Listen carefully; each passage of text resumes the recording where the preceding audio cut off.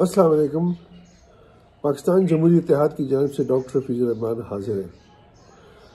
आज का अहम सवाल ये कि क्या पाकिस्तान तहरीक इंसाफ को हुकूमत में जाना चाहिए और क्यों जाना चाहिए? और अपोजिशन में जाने के इनको क्या नुकसान हो सकते हैं?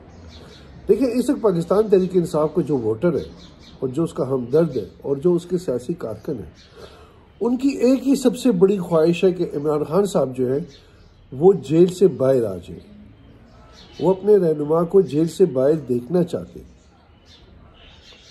तो फिर उसके लिए क्या करना चाहिए? उसके लिए मेरी राय में यह है कि पाकिस्तान तहरीक इंसाफ को पीपल्स पार्टी के साथ अलायंस करना चाहिए और हुकूमत बनानी चाहिए। और पीपल्स पार्टी इस वक्त इंटरेस्टेड है वजारत उज़मा में।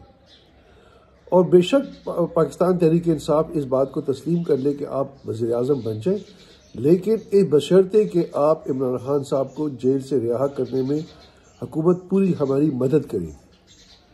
और अगर आप मदद करने में नाकाम हुए तो हम आपसे अपना अलायंस ख़त्म कर देंगे। और इसके लिए सबसे अहम वजारत जो पाकिस्तान तहरीक इंसाफ को मांगनी चाहिए, वो वजारत कानून है।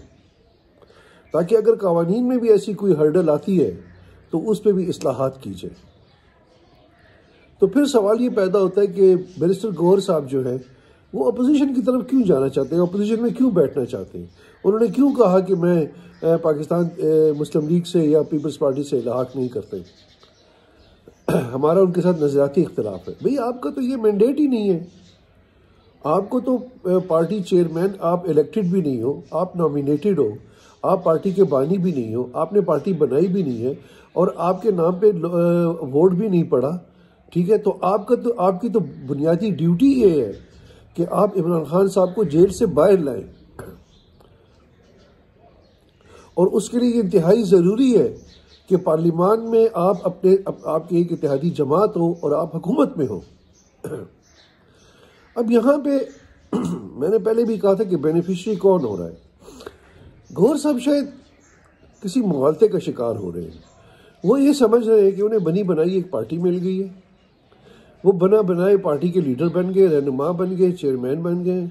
और इमरान खान साहब, जब तक जेल में हैं, वो इस पार्टी के अपोजिशन लीडर भी रहेंगे। और opposition as a opposition leader वो अपने आप को एक रहनुमा के तौर पे तैयार करना चाहते हैं। वो पहले तो हमने सुना था मरा हाथी और ज़िंदा हाथी की माँ मासली के मरा हाथी ज़िंदा हाथी से बेहतर होता है। अब ये ज़िंदा हाथी को मरे हुए हाथी से बेहतर साबित करके अपने लिए फ़ायदा उठाना चाहते हैं।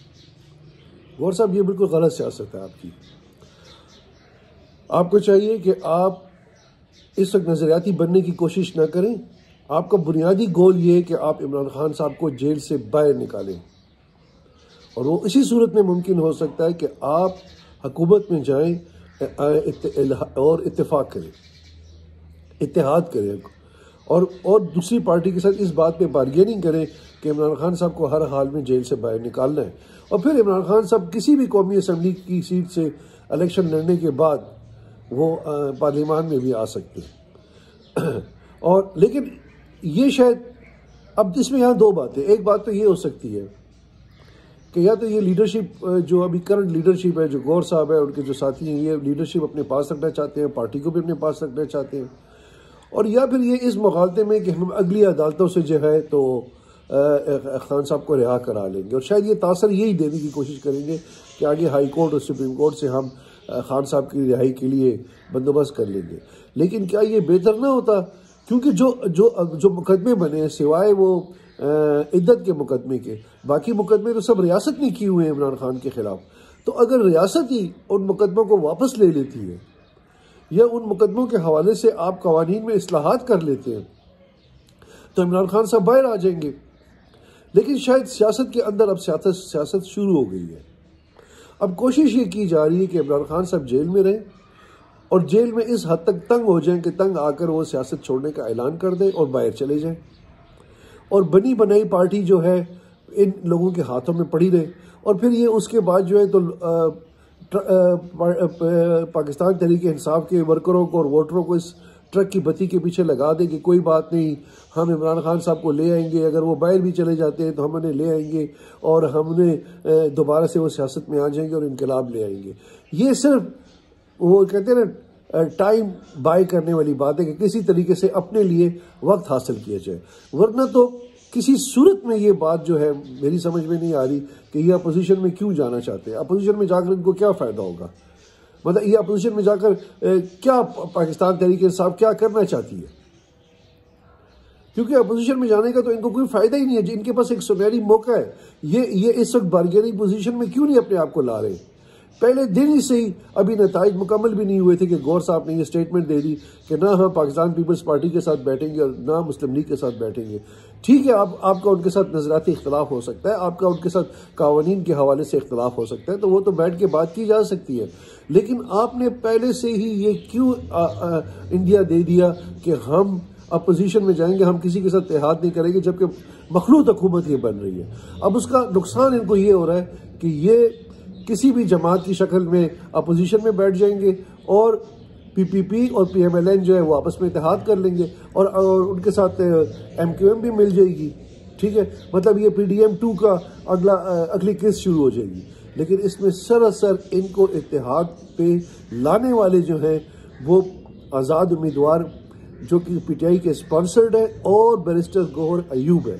बैरिस्टर गौर है। सॉरी गौर अयूब नहीं आई एम सॉरी। ठीक है? ये इन्होंने इनको आपस में इतिहाद पे मजबूर कर दिया है। वरना अभी तक खामोशी ही खामोशी है। ये बिल्कुल किसी किस्म का कोई कार्ड खेलने के लिए तैयार ही नहीं है। इनको फ़ौरन रबते करने चाहिए थे पाकिस्तान पीपल्स पार्टी के साथ। क्योंकि पीपल्स पार्टी इस वक्त डेस्परेट है वजारत उस्मा के लिए। और उनकी इस वजारत उस्मा की कमज़ोरी से फ़ायदा उठाते हुए पाकिस्तान तहरीक इंसाफ एक बेहतरीन किस्म की सियासत कर सकती थी। लेकिन हमें अफसोस के साथ कहना पड़ता है कि पाकिस्तान तहरीक इंसाफ की बिल्कुल एक गलत सियासत है। उनका लगता ही नहीं है, वो ये चाहते ही नहीं है कि इमरान खान साहब जो है, वो जेल से बाहर आए। जो बाहर जो सियासत खेली जा रही है, उससे बिल्कुल ये दिखाई दे रहा है कि इमरान खान साहब जेल में रहे, इमरान खान साहब जेल में पड़े रहे, और गौर जो है तो ये अपोजिशन लीडर बन जाए, और अपोजिशन लीडर बनने के बाद इनके कुछ अपने लोगों को सेनेट में भिजवा देंगे, वो मखसूस सीटें ले लेंगे, और ये कोशिश ही की जा रही कि पाकिस्तान तहरीक इंसाफ कि जो इमरान खान की जो जद्दोजहद की वजह से जो एक पार्टी वजूद में आई, ठीक है, उस बानी को आहिस्ता आहिस्ता माइनस कर दिया जाए। मतलब अब ये कोशिश की जा रही है कि माइनस इमरान खान पीटीआई को आगे लाया जाए, ठीक है? और इसमें मैं समझता हूँ कि बाहर के किसी बंदे का कसूर नहीं है। इसमें इनके अपने लोगों का कसूर है, इनके अपने लोग जो हैं, वो ही ये सियासत कर रहे हैं और सियासत के अंदर एक सियासत खेली जा रही है। तो मैं पाकिस्तान तरीके इंसाफ के दोस्तों से, क्योंकि मेरे इस पार्टी के साथ ताल्लुक रहा है, सत्रह साल मेरा इस ताल्लुक रहा है। मैं पाकिस्तान तरीके इंसाफ के दोस्तों से गुजारिश करूँगा कि खुदा के लिए आप इस बात को समझने की कोशिश करें। आप जो इस पार्टी के हमदर्द हैं, जो जो दोस्त हैं, कि आप अपनी पार्टी में, इसकी बजाय कि आप लगे हुए अपने, कि यार फलां हल्के में धांधली होगी फलां हल्के में धांधली होगी, इस वक्त आप लोगों को ये कोशिश करनी चाहिए कि हमें इमरान खान को रिहाई दिलवानी है। और इमरान खान को रिहाई दिलवाने के लिए हम किसी हद तक भी जा सकते हैं।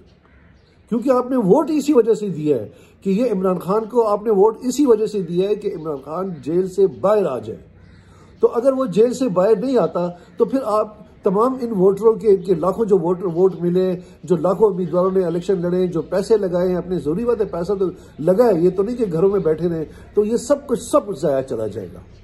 तो अजीज़ा मन मेरी आपसे गुजारिश है कि आप इस हवाले से अपनी पार्टी के अंदर एक जद्दोजहद शुरू करें और पार्टी को ये प्रेशर डालें कि हमें अपोजिशन में जाने की बजाय पाकिस्तान पीपल्स पार्टी के साथ बैठ के अल्हा करना चाहिए। आप उन्हें प्रीमियरशिप दे दें। आप उनके बदले में बहुत कुछ मांग सकते हैं। आप सेनेट की चेयरमैनशिप मांग सकते हैं। आप उनसे प्रेजिडेंट मांग सकते हैं। आप उनसे जो है अहम तरीन वजारतें मांग सकते हैं। ठीक है? तो एक बेहतरीन किस्म की आपकी दोबारा से जो है, और आप पंजाब में भी कोशिश कर सकते हैं। कि पंजाब में भी पीपल्स पार्टी को लाएँ अपने साथ लाएँ और पंजाब में भी हुकूमत बनाने की कोशिश करें। आपकी इस वक्त पूरी तवज्जो ये होनी चाहिए कि पाकिस्तान पीपल्स पार्टी और पीटीआई मिलकर आपस में इतिहाद करें और यही आपकी जीत होगी कि आ, सबसे बड़ी जीत मैं समझता हूँ कि इमरान खान साहब की जेल से बाहर आने की जीत होगी। अगर वो जेल से बाहर नहीं आते तो आपकी सारी एक्सरसाइज जो है ये ज़ीरो हो जाएगी और सिर्फ़ चंद चंद मुफाद चंद लोग फ़ायदा उठाएँगे जो इस वक्त आपकी पार्टी के ऊपर काबिज है। आपका बहुत बहुत शुक्रिया, जहाँ भी रहे, अब अल्लाह की अमान में रहे और बर मेहरबानी इसको आगे सब्सक्राइब करें। ठीक है? मेहरबानी, शुक्रिया।